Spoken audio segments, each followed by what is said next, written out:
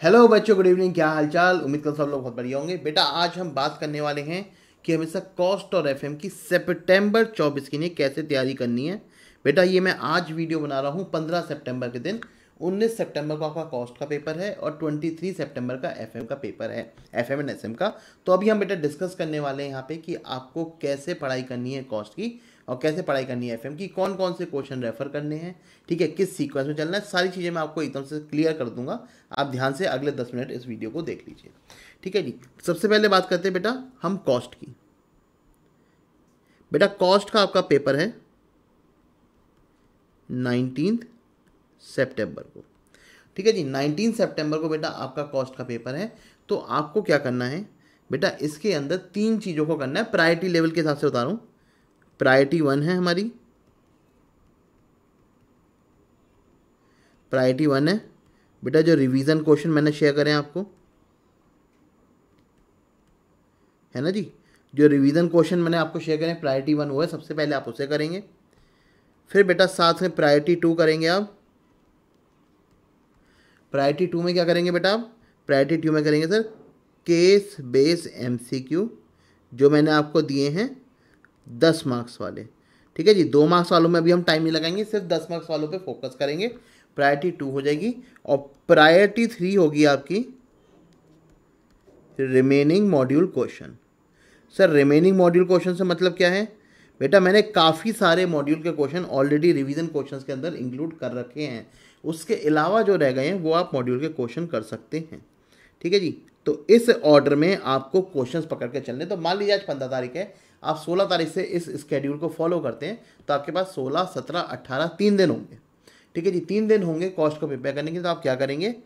पहले दो दिन का टारगेट रखेंगे आप। ठीक है जी, पहले दो दिन का टारगेट रखेंगे कि जो आपके मेन मेन बड़े बड़े चैप्टर हैं, वो हो जाए। जैसे कि सर कौन कौन से हैं? ठीक है तो हम सर चैप्टर का फ्लो क्या रखेंगे, वो भी समझ लीजिए। सबसे पहले बेटा आप करेंगे overheads and ABC process costing ठीक है जी? फिर करेंगे आप स्टैंडर्ड मार्जिनल ठीक है? फिर आप करेंगे बेटा हमारा बजट ठीक है जी? कॉस्ट शीट सबसे पहले बेटा आप इन चैप्टर्स पे फोकस करेंगे, क्योंकि ये चैप्टर्स आपने कर लिए, साठ मार्क्स आपके वैसे ही पक्के हो गए हैं। ठीक है जी? तो in terms of chapter in terms of chapter आपकी प्रायोरिटी रहेगी ये। ठीक है जी? इसके बाद जब ये चैप्टर हो जाए, फिर हमें कौन से चैप्टर करने हैं? फिर आ जाएगा बेटा हमारा मटेरियल जितने भी बजट चैप्टर हैं मटेरियल एम्प्लॉय कॉस्ट ठीक है जी? कॉस्ट अकाउंटिंग ठीक है? और हमारा सर क्या आ गया? और बेटा हमारा आ जाएगा जॉब एंड बैच और जॉइंट एंड बाई एक चैप्टर और बचा है बेटा सर्विस कॉस्टिंग वो भी आप प्रायोरिटी वाली लिस्ट में ही डालेंगे। सर्विस कॉस्टिंग ठीक है जी? तो बेटा, इस तरीके से पहले आपको ये वाले चैप्टर्स करने हैं। ठीक है जी? और फिर उसके बाद बेटा आपको ये वाले चैप्टर्स करने हैं। करने कौन से क्वेश्चन है इसके? बेटा वो मैंने बता दिया, सबसे पहले हम रिवीजन वाले क्वेश्चन करेंगे, फिर जो दस मार्क्स वाले केस बेस एमसीक्यू है वो करेंगे, और फिर बेटा जो मॉड्यूल के क्वेश्चन अगर आपके पास उसके बाद भी टाइम बचता है तो आपको मॉड्यूल के क्वेश्चन कर सकते हैं, जो आपके यहाँ पे ऑलरेडी कवर नहीं तो रिपीटिशन को हम अवॉइड करते हुए चलेंगे। ठीक है? अब सर क्वेश्चन आएगा दिमाग में, ये क्वेश्चंस करने कैसे हैं सर वन थर्टी क्वेश्चन यहाँ पे हैं लगभग। ठीक है? Twenty two twenty five question यहाँ पे हैं। ठीक है? सर इन दोनों के करने के बाद इसके लिए टाइम बचेगा कहाँ? तो बेटा मैं आपको बता देता हूँ, आपको क्या करना है?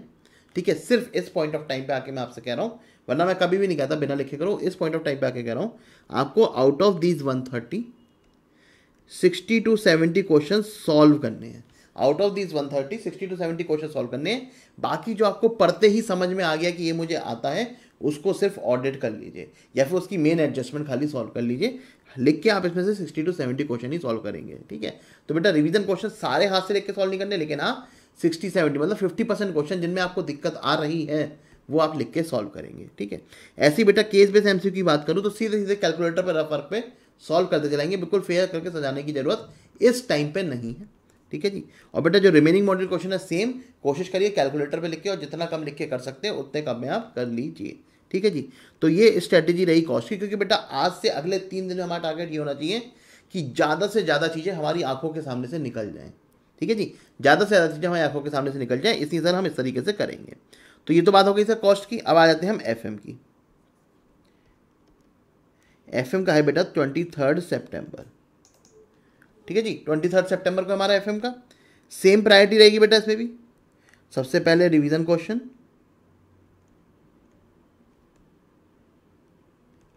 सबसे पहले रिवीजन क्वेश्चन फिर सर हमारे केस बेस एमसीक्यू और फिर बेटा रिमेनिंग मॉड्यूल क्वेश्चन ठीक है जी? सेम प्रायोरिटी सर इसमें रहेगी। इसी प्रायोरिटी में करना है बेटा। रिवीजन क्वेश्चन आपके अराउंड सेवेंटी हैं। सेवेंटी टू एट्टी क्वेश्चन आपके रिवीजन वाले।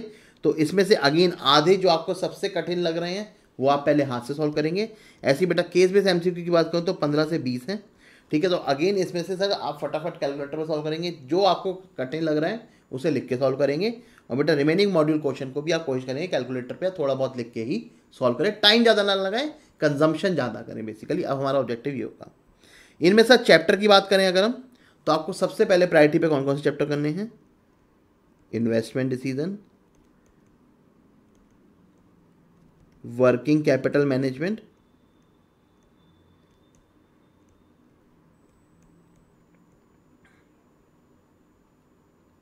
ठीक है जी? रेशियो एनालिसिस कैपिटल स्ट्रक्चर ठीक है जी, ये आपके प्रायोरिटी पे रहेंगे। और सेकंड प्रायोरिटी पे क्या रहने वाले हैं? बेटा, छोड़ना कुछ नहीं है, लेकिन मैं आपको प्रायोरिटी सेट करके बता रहा हूँ। कॉस्ट ऑफ़ कैपिटल जो ये कंपेरेटिवली ईजियर क्वेश्चन होते हैं इनके कॉस्ट ऑफ़ कैपिटल हो गया आपका लीवरेज हो गया। ठीक है जी, और कौन चैप्टर बचा हमारा?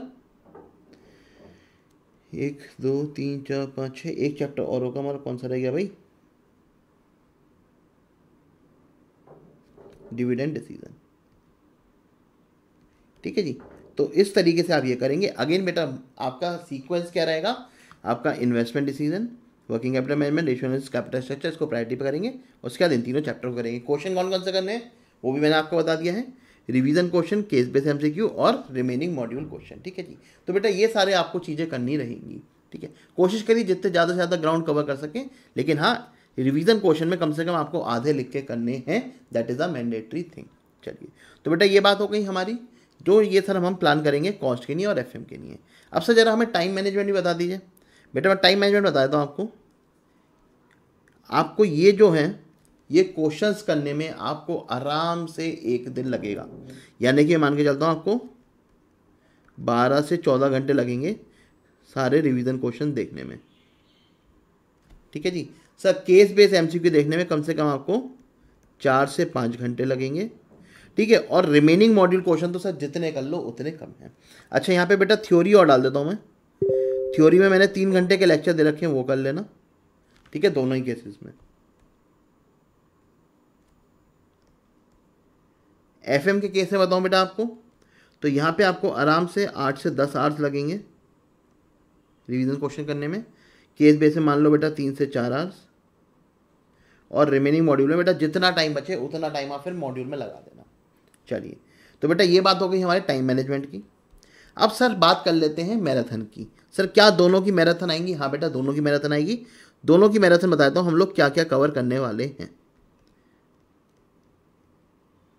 ठीक है जी? दोनों की मैराथन में क्या करेंगे? बेटा, दोनों की मैराथन होगी किस दिन? बेटा 19 तारीख को पेपर है तो 17 तारीख को हम इसकी मैराथन कंडक्ट करेंगे। और इसकी हम करेंगे 23 तारीख को पेपर है तो ट्वेंटी फ़र्स्ट को। टाइम बेटा, दोनों ही केस में साढ़े छः पी रहेगा। यहाँ पे भी साढ़े छः पी रहेगा। कवरेज क्या होगी? बेटा, यहाँ पे होगी हमारी सेवेंटी प्लस मार्क्स की कवरेज ठीक है जी? और यहाँ पे होगी बेटा हमारी फोर्टी प्लस मार्क्स की कवरेज।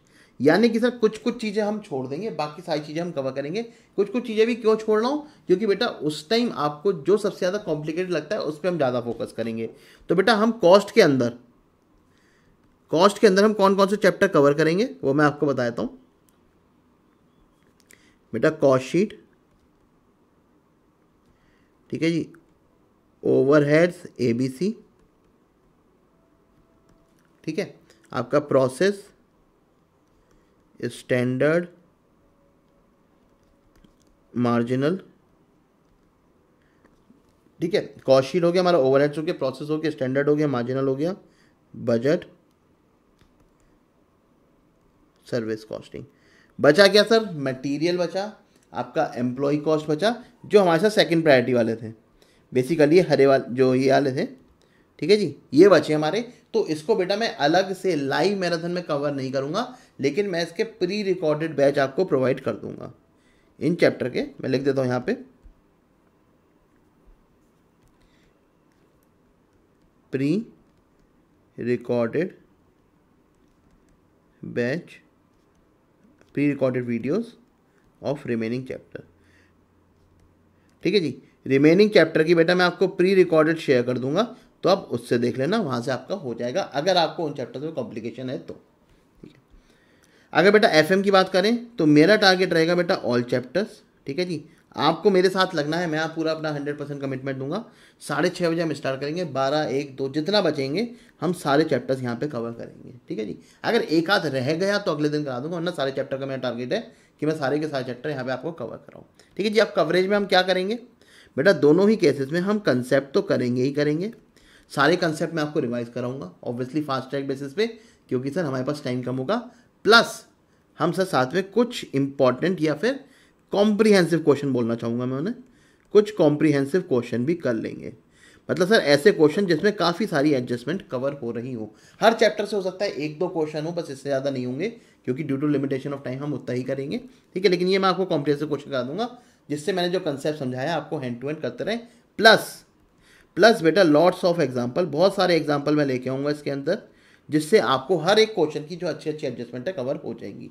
ठीक है जी? तो इस तरीके से हम करेंगे मैराथन अगर आपको देखनी है सर लास्ट टाइम की मैराथन आप मेरे चैनल पे देख सकते हो। आप चाहते हो सर मैं अभी मैराथन देख लूँ तो लास्ट टाइम की रिकॉर्डेड अवेलेबल है, आप वो देख लो। As good as for current time है वो। ठीक है जी? तो वो भी मेरे चैनल पर अवेलेबल है। सी अग्रवाल जो यूट्यूब चैनल है, उस पर आपको मिल जाएगी। ठीक है? इसके अलावा बेटा, आपको कहीं भी दिक्कत आती है, मेरे नंबर पर कनेक्ट करो। ठीक है जी? I am available for you ठीक है जी? कोई भी दिक्कत, कोई भी परेशानी आप मेरे से कनेक्ट कर सकते हो regarding to any concept regarding to any question कहीं प्लानिंग में डाउट है, मैं सब चीज़ों में आपकी हेल्प करूँगा, ठीक है जी? तो बेटा, ये हमारा पूरा प्लान रहने वाला है, इस प्लान को फॉलो करेंगे और सर बहुत बेहतरीन क्वेश्चन नंबर लेके आएँगे। अब किसी भी टेस्ट पे mock test paper chapter wise test paper किसी पे कुछ भी फोकस नहीं करना हमें। अब सिर्फ़ हमें फोकस करना है कि ज़्यादा से ज़्यादा रिवाइज कर लूँ मैं अप टू द पेपर्स ठीक है जी? चलिए तो बेटा इस चीज़ पर प्रिपरेशन स्टार्ट कर दीजिए। देखो, मैं आपको ये नहीं बता रहा कि सुबह आला करो, दोपहर ये वाला करो, दो घंटे में आला करो, तीन घंटे में आला करो। हर बच्चे की अपनी स्पीड होती है, लेकिन मैंने आपको ओवरऑल एक आइडिया दे दिया है कि कितने घंटे का आपको टारगेट देख के चलना है हर एक टास्क के लिए। चलिए जी तो बेटा ये लेक्चर यहीं पर कंक्लूड करते हैं। टाटा बाबा टेक केयर मिलते हैं आपसे मैराथन में। बाय